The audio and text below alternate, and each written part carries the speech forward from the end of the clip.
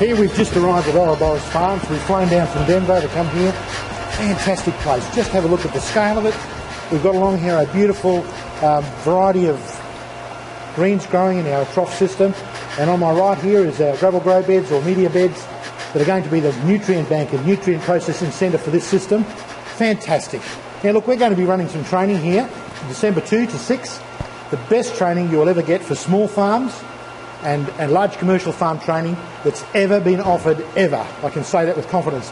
I've assembled a great team of trainers. We've got six trainers, all specialists in their own field, as well as the wonderful staff here at this place. Uh, so you'll probably have 10 or 12 trainers when you come to here, so very low, low ratio class sizes, absolutely excellent training. The scope of this place is magnificent.